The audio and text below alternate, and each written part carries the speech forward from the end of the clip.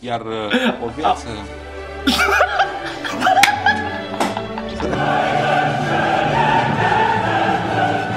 bă șacalilor, ce faceți? Prieteni, este pentru prima oară pe canalul ăsta când reacționez la un video la care m-am mai uitat în trecut. Eu de obicei nu mă uit niciodată la videoclipuri la care reacționez ca să am reacție live. După mult timp mi-a apărut din nou la recomandate un video extraordinar. Este un video de nota 10, un video la care o să râd toată viața mea. L-am mai văzut acum jumătate de ani și de fiecare am văzut de vreo 3 ori. Bă, dar am râs de fiecare dată și am zis dacă tot mi-a apărut la recomandare e un semn. Dacă se aude ceva pe fundal, m-am opus mașină de spălat Pentru că au crezut că eu filmez peste o oră și eu trebuie să filmez acum deci uh, enjoy, cum s-ar zice. Am uitat să vă mai zic, dar nu uitați să activați clopoțelul, nu așa, bum, ci așa cu toate notificările ca să ne apropiem de milionul de abonați, să primiți de fiecare dată notificare când postez în fiecare miercuri și sâmbătă la ora 2. Împun căștile și ne uităm la o emisiune în care doi oameni vorbesc despre o problemă destul de gravă. Ca să înțelegeți despre ce e vorba, tipul ăsta îi lua un interviu unui medic care vorbea despre problema diabetului zaharat în județul Botoșan sau unde era asta în România, mă rog. Eu l-aveam și la like, dau pe full screen și vrea să ne uităm împreună că nu se poate. Let's go! Deci pacienții au fost descoperiți cu risc dublu sau triplu de îmbolnăvire, adică... Ok. Suntem atenți, da? Cardiovasculare și cancer. Deci au început să râde, da? Da. Sper că a fost un moment mai umoristic aici în studio uh, să depășim acest moment. Um, Este normal. Hai să conștientizăm că uh, totul sănătatea este pe primul plan, iar uh, o viață... ハハハハハ! Acum jumătate de an mai făceam mișto cu maica mea că ziceam, mei gata, că a fost un mic moment, moment umoristic, trebuie să trecem peste să fim serioși. Bă, se întâmplă, este normal și eu la școală uneori, frate, că când te lua profesor, bă, știi certat, nu puteai să te abții din râd pentru că așa-ți vine atunci, ești super euforic, nu știu care-i treaba, dar nu poți să te abții. Vedeți acolo tot mai bolnave, să scrie diabetul zaharat, mare problemă în România, aparate să ajute oamenii, să-i reînvie. Mai zic doar asta, să fiți atenți la vocea lui, cum, cum să aude așa că îi vine să râde, frate, gata, gata. O viață Că sănătoasă... discutam despre cancer. Da.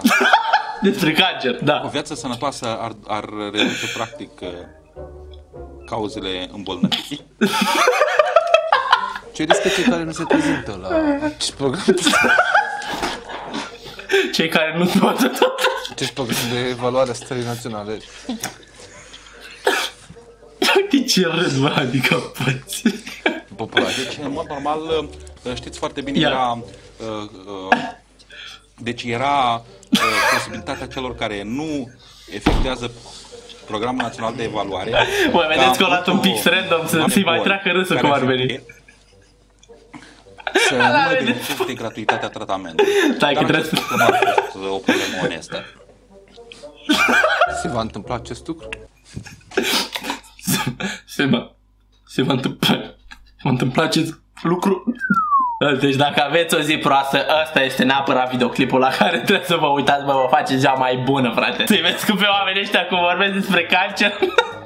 Și încep să râdă, frate. Bine, nu, nu că ar fi rău, știi, dar bă, se întâmplă momente de astea în viață, ce vrei. Uite, spre exemplu, mie la bac, frate, când eu învățasem Caragiale și am văzut copii ca Bacov, îți dai seama că mă bufnit un râs că am zis, bă, aia e. Na, ce pe office. Eram singurul din sală care de aia e. Să vedeți că o să face pauze de vreo 4-5 ori, gata, ia, ia.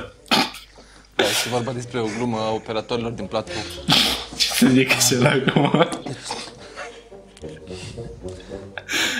Dacă mi să închid monitoarele. Bun, discutam despre programul de evaluare a stării naționale de sănătate a populației. Mai trage o linie. Ce se va Dar nu că întâmpla? mi-aduc și o foaie. O foaie și un pic când îmi vine și mi să retrag o linie, știi? Ca și cum aș completa ceva pe formular în emisii, știi? Că am bifat scriptul, ia frumos aici. Încolo cu ce risc, domnule doctor? Da, e... Da, domnule... Domnule Eu doctor... cred că este extrem de important să luăm în calcul absolut toți factorii care de- determină apariția unor asemenea boli. Și cred că o viață sănătoasă și uh, un consum de alimente sănătos, de fructe, de vitamine, dar cât mai naturale, ar putea fi o soluție pentru o viață normală. Cum se va termina acest program? Da, nu, aici... Da. Acest program uh, se va încheia în data de 31 decembrie Acest program se va încheia pe data de dreptul eu, eu nu pot să mă abțin de râs, jur. Deci este, nu știu, este un video de suflet pentru mine, știi cum ar veni? Vă mai zic eu la mai văzut, dar v-am zis să fiți atenți cum... O să vedeți că repetă chestia asta de vreo 4-5 ori și cât va mai dura el. Deci o să deci pe la a 5 oară când am realizat a câta oară repara, bă, am tras un râs. Eu așa susțin că ar trebui să fie oameni, frate. Deci, nu știu, mie mi se pare extraordinar, frate, să, să te simți bine. Că despre asta e vorba, frate. Și în cele mai rele cazuri, frate, știi cum ar veni dacă rămâi așa pozitiv și cauți un motiv de râs în tot ceea asta, știi cum ar veni să-ți da așa o stare mai bună eu în Campix, ca să, să mai uh, completez aici și... Da, mai lăsat reclama, începe, fii atent, a doua rundă, da? După un pic de, așa, cu operatorii, cu gluma. Suntem atenți, De, mă las pe de, spate, De boli. mă uit, Uh, mă uit la mine cum Dar, arăt. după cum știți, conform legilor bugetului de stat, nu există posibilitatea transferului de fonduri de la o, Gata, cred că, să zicem, categorie de boală către altă categorie de boală. cred că începe. Da, uh, un număr mare din populația județului riscă să se îmbolnăvească de de-abia Zaharat. Iar Mai acest zis Zaharat odată. este o boală... Este o boală care presupune costuri mari pentru bolnavi.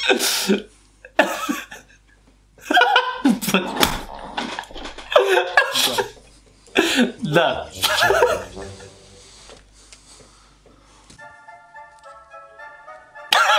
Nu a rămas așa. da, pauză, like-ul. Dar într-adevăr, este adevărat că o, o, o, se poate trata, este o problemă foarte mare care presupune. Și încă o dată pauza, frate, cu boxerii ăștia să mă bată. Oh, că eu luat pe ultime de la... Ești nebun, eu luat de pe cap, eu pus... Eu rut Speedbull. Ia uite-l. 6 K1 Rams. Ia uite aici. Ia uite-l. Hop. Oi, Oi, Și revenim cu încă o transmisie, da? A doua, a treia oară, cred că e de acum. Mi îmi pare rău că aici în platou aveți niște colegi extrem de veseli și uh, ne perturbe emisiunea. Da, chiar ne vorbim cerem despre scuze pentru probleme. acest mic moment Da, până la umoristic. urmă, nu Vorbim, chiar uh, vorbeam chiar despre vorbim despre probleme, probleme extrem de, ser, de, foarte de, de ser- serioase și știți Așa. foarte bine se poate ajunge la amputație și tăieri de... Doamne ferește, nu, colegii ăștia. De membre, da? Bă, ca țăranul râs aici, bă. Zicea de tăiatul membrilor, au început să râdă. retinopatie diabetică. uh, Tot o s-a mai cauză abținut, a zis că îl da afară de la muncă.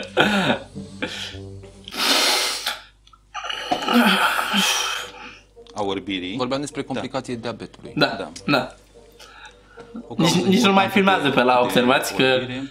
Uh, sunt afecțiuni uh, de natură neurologică care Până. pot fi congenere diabetului, sunt afecțiuni grave care necesită nu, nu doar în tratarea uh, Mi se pare diabetului, foarte amuzant. uh, Costuri Nu foarte înțelegem mari despre ce e vorba și repet aceleași lucruri. afecțiunile congenere care sunt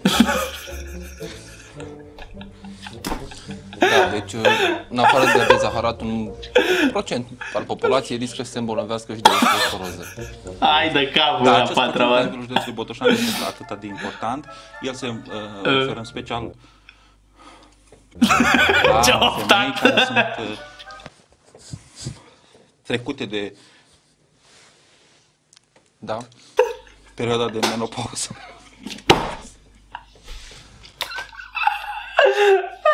Bă, sincer, cum să nu-ți vine să râzi când vezi că arată, arată, nu știu cum, arată foarte comic omul ăsta, știi? Pentru că are o față ușor grăsuță, îi mai mare așa, cu fruntea mare, știi? Îți vine să râzi. Tu îți dai seama, frate, îl iau transpirațiile acolo, mai completează și el pe foaie ca și cum așa, să mai șterge un pic fix așa, cred că are foaia, așa are cel pe acolo, cam așa cred că are la cât o transdunge acolo. Ce mai amuzant a fost când au zis că se poate ajunge la amputarea decât la tăierea membrilor și a început să râdă, frate. Tai picioarele oamenilor, frate, știi, ca osteoporoză sau ce e aia, frate, și și încep să râzi. Deci noi oamenii trebuie să fim ca ăștia doi, frate. Nu știu, nu știu ce s-a întâmplat sau care a fost ratingul sau ce s-a întâmplat după ce a terminat emisiunea asta. Tu îți dai seama cât râdeau, cred că și producătorii, cred că ăla era supărat foc, dar cred că râdea și el la un moment dat, bă, ce să mai zici? A realizat deschiderea acreditivului și practic tomograful spune că este în curtea spitalului județean. În această perioadă urmează practic amenajarea Spațiului. Amer, amenazarea. Ia uite ce față are, doamne. Tomograful va fi amplasat la Spitalul Județean, Da. la parterul Spitalului Unitate de Primire a Urgențelor. Hai de capul meu, du-te mă, n-ai cum. A treia pauză, da, deci suntem la a treia pauză. Tu îți dai seama cât de ghinionistă poate să fie ziua ta, frate, să zică peste o lună, că te cheamă pe 13 mai 2005 la interviu la Teleshop, ce-o fi asta, că nu știu programul. Bă, tu te pregătești o lună, frate, dau să am interviu, mamă, dă acolo, părinți, toți, neamuri, uitați-vă la televizor, ajung. Bă, frate, și fix atunci, frate, după o lună, fix atunci îți vine ție să râzi despre amputarea membrilor de diabet, zaharat și de cancer, frate. N-ai cum, bă, dar așa, așa oameni veseli, văd, nu știu cum. Cam asta a fost cea mai amuzantă emisiune ever difuzată în România, ever, despre cele mai grave probleme ever. Sper că vă făcut ziua mai bună, exact cum mi-a făcut-o și mie, pentru că de fiecare dată când mă uit, bă, și analizez așa, frate, cum, cum le se blochează, efectiv, se face așa, știi, că le vine să râdă. Extraordinar, deci când, vrea, când o să fiu mare, vreau să fiu ca omul ăsta, frate. Deci să termina, frate, vreau să fiu ca doctor ăsta, acum îl chema pe el. Da, așa calor, cam ăsta au fost videoclipul. Urmăriți-mă pe Instagram, la Niculeț, facem 200 de mii și acolo. Să vă activați clopoțelul pe YouTube, că Doamne ajută vara asta, poate, poate, nu zic așa, poate face milionul, nu zic hop până n-am sărit. Bam, un milion și tricou ăsta îmi face așa slab, că e așa larg și facem și milionul și tricou ăsta și milionul. Ce să vă mai zic, faceți sport mult, beți apă multă și râdeți cât mai, cât mai, cât mai mult. Eu v-am pupat. Pa, bă!